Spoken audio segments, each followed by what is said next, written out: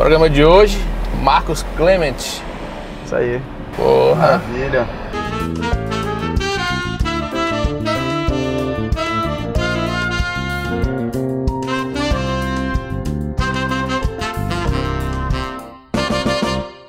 Lauro de Freitas, te remete a alguma coisa?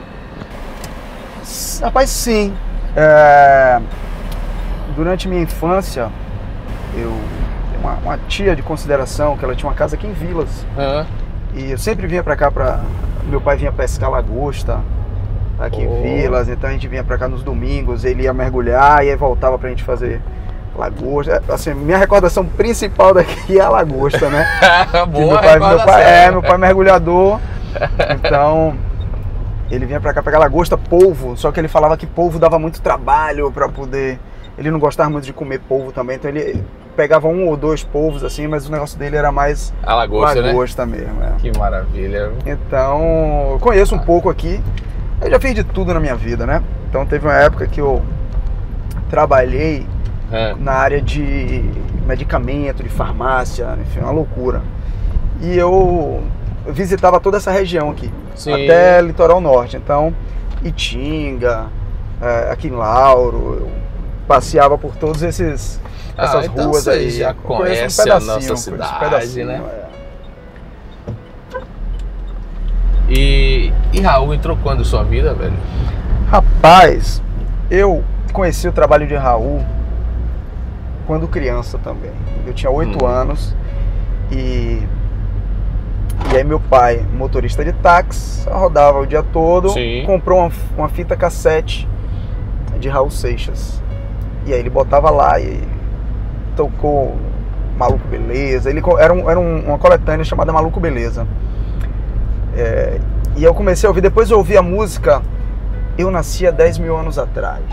E aí na cabeça de uma criança de 8, 9 anos, é, aquela história toda do cara que nasceu há 10 mil anos, como era isso? Eu ficava imaginando, né, aquela coisa, como é que podia na realidade o cara ter visto tudo aquilo que ele viu. 10 mil anos. E aí eu conheço, é, Raul com essas coisas de contar história, ele era um personagem, né, enfim, incrível. E aí eu ouvi a música O Dia em que a Terra Parou. Porra. E aí começava aquela história, sempre é, é, essa- essas coisas meio surreais e, e- e que remetiam ao universo lúdico também, né? Como é que todo mundo parou na Terra, a Terra parou e ninguém fez mais nada porque imaginava que o outro não ia fazer. Então essas coisas me intrigaram muito a conhecer mais um pouco a obra de Raul. Tinha Aí a eu voz típica dele, aquela coisa. Tinha, de ele- Raul, era era um personagem, né? merda. Raul era um personagem que ele se reinventava a cada dia. E, e a cada composição, a cada disco ele inventava uma história nova, né? Eu- e ele estava muito à frente do seu tempo em várias questões, em várias questões que hoje a gente vê aí Pois é. e, e que ele já trazia isso no seu trabalho, né? É, a minha infância com a coisa do Plunks Plaque Zoom, Balão Oh, Mágico, né? ah. Da década de 80, então eu vivi isso. Verdade. Isso ele influenciou pro rock, né? Me influenciou Ele pro rock, porque quando eu comecei a tocar violão na adolescência, o meu repertório era basicamente Raul Seixas. E eu tocava isso assim informalmente, comecei a tocar violão e tal. Montei a minha primeira banda de rock chamada Cerberus, que era Cerberus era o, o- o cão de, de três cabeças, que era guardião da porta do inferno, aquela coisa toda. Ah, Deus. Eu estudava no Dorico Tavares e juntei com mais dois amigos de lá. Um estudava no Manuel Novaes, que era o Batera, e o baixista estudava comigo no Dorico, era meu colega de sala, e eu tocava guitarra e cantava. A banda só fez um ensaio e acabou. É, mas era massa, porque assim, a gente não era. A gente tinha a coisa do espírito de rock. Eu lembro que no primeiro ensaio que a gente foi fazer, porra, eu me fantasiei todo, botei uma jaquetinha. é, Pô, o Batera já que- foi pronto pro show, né? pronto velho? pro show, porra. A minha banda de rock era uma realização de um sonho. E aí o Batera foi com a faixa na cabeça, uma camisetinha, todo mundo na pegada rock and roll. velho. Caramba, A gente velho. pegou um. Eu morava no IAPI. É. O ensaio foi em Vale dos Lagos, que era onde o baixista morava. E onde tinha um estúdio lá. É, a gente foi pro Campo Grande, é uma aventura pra fazer um ensaio. Hoje em dia, a gente já, eu com 20 anos de música, é pra fazer um ensaio longe assim desse jeito, é uma coisa pensa, né, surreal. Né, As loucuras que a gente faz. Depois, é, eu tinha um, tem um meu compadre, né, que é meu irmão de, de, de coração, que chama André Guerra. Eita, porra. Segura, bota, aí, bota aí, peraí, segura aí, segura ali. Vamos nessa, vamos pros quebra-mola de Lauro de Freitas, tá tudo valendo aqui. É, e aí o que acontece? Ele tinha uma banda chamada Vats, Sim. que saiu na Cidade Baixa. E o baixista da banda saiu. Eu entrei como sub do baixista para fazer uns shows. Caramba! Toquei no antigo é, Café e Cultura de Carlinhos né, que era irmão de Eli Pinto, cover de Raul, que eu ia sempre assistir o show de Eli Pinto lá no Café e Cultura. Ficar louco, né? Porra, velho, saí andando, eu morava no IAPI, não tinha ônibus do Rio Vermelho pro IAPI, e eu ia andando até a casa de um amigo que fã de Raul também, que tinha ido curtir o show com a gente. Era uma tropa, né? Umas 10 cabeças que ia pro show de Eli. a gente saía andando até a Barra do Rio Vermelho, que duas horas da manhã. É pra história, poder, né, é, pra poder assistir o show dele. A gente dormia na barra e no outro dia de manhã pegava o buzu e ia pro IAPI. Isso na década de 90.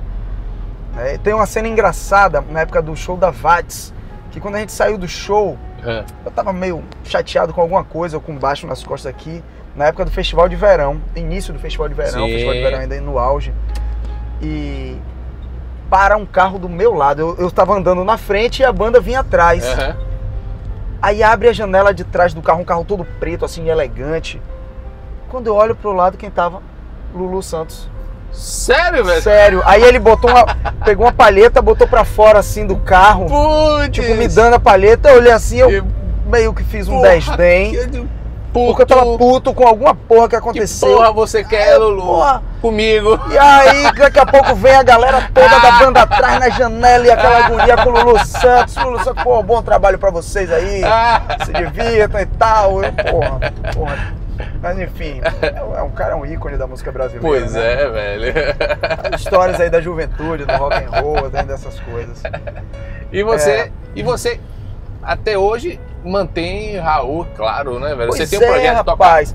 Tenho essa coisa de tocar Raul, foi uma coisa muito natural. Porque eu, como fã de Raul, comecei a tocar violão. Eu frequentava o cemitério para tocar com a turma. Certo. Né, porque assim, tem as datas emblemáticas de Raul, que é o aniversário de vida, que é 28 de junho, aniversário de nascimento dele. No dia 28 de junho, eu canceriano. Eu sou do dia 30 de junho, né? Então quase ele colaria um porra, também um canceriano.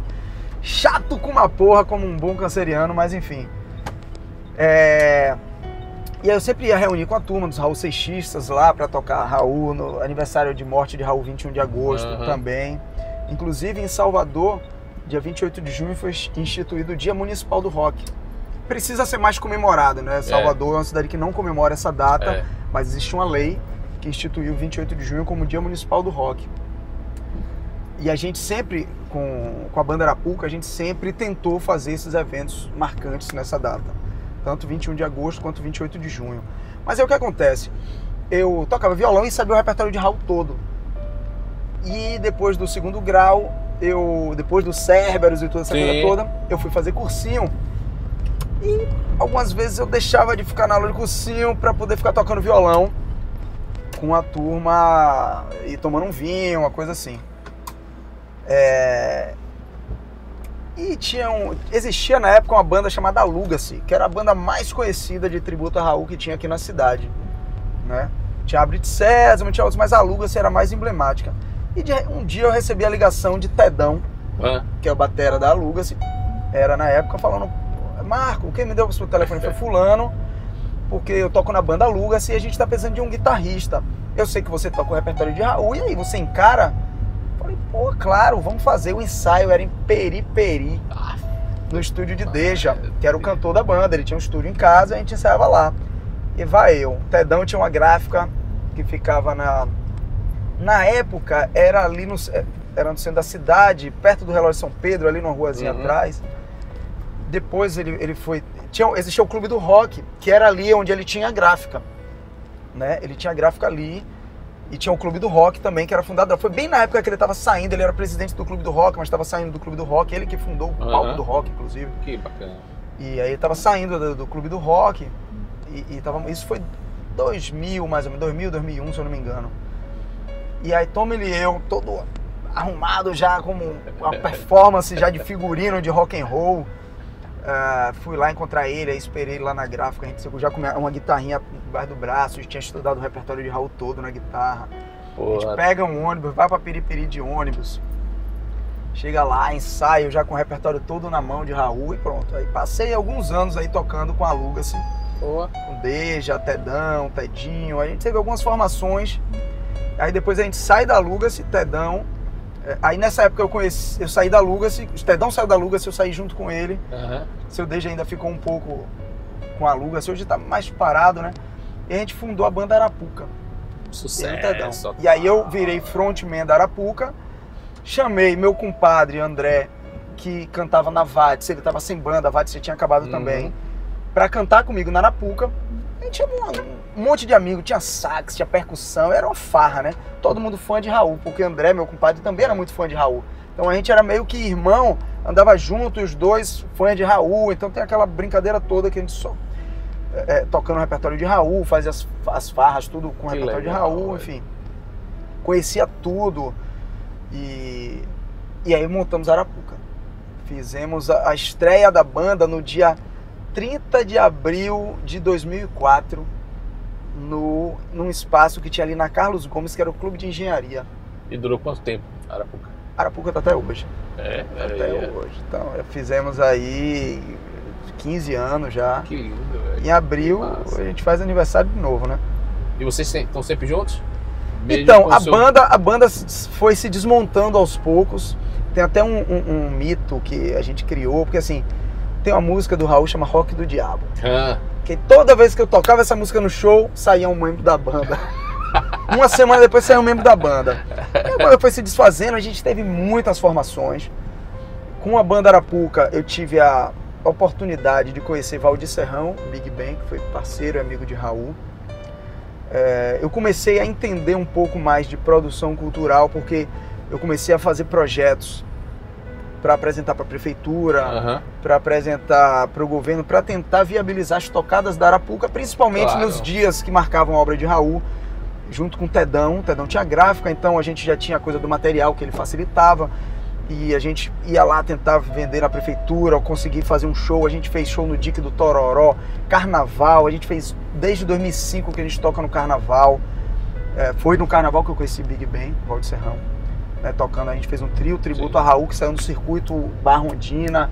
Chamamos o Big Ben, colocamos ele lá. Big Ben tinha uma rádio. Eu conheci ele. Mora em Mussurunga, é. né? Então, ele, ele tinha... morou em vários lugares. Tipo, quando eu conheci ele, estava em Mussurunga. Ele, na época que eu conheci ele, ele morava em Estela. Ele tinha uma rádio em Estela. Depois ele mudou pra Cidade Baixa. Ele mudou algumas vezes de rádio, não era uma rádio clandestina. É, eu tô ligado. a gente foi, tocou ah, na rádio. ficava atrás dele o tempo todo, é, fecha, rapaz, fecha, é uma figura é, incrível. Inclusive, ele partiu, né?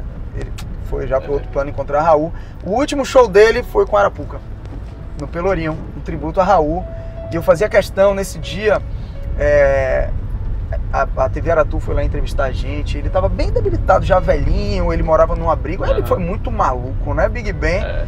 Já teve a Bahia nas mãos dele. Foi. Ele tinha o show do Big Ben que ele revelou vários foi. artistas. Show de auditório, não era? É, era o, o era Raul cara, Gil da era, época. Era o nosso né? Silvio Santos. Era o Silvio Santos, da época que revelava todos os talentos. É. A maioria dos artistas baianos passaram pelo show dele.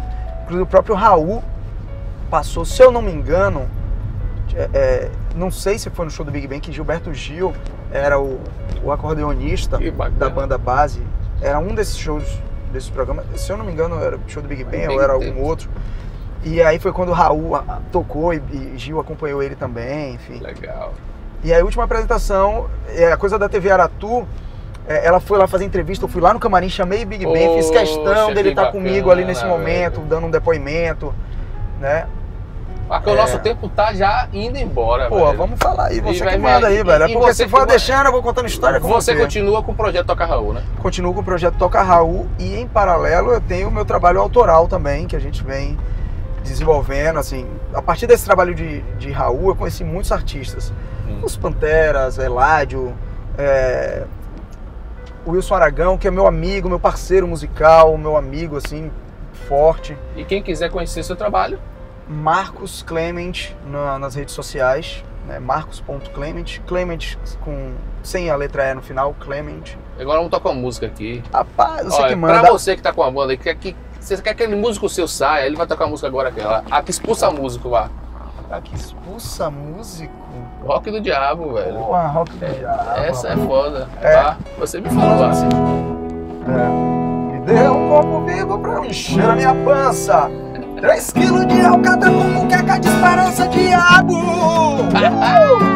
O diabo é o pai do rock, é rock, é fuck, diabo.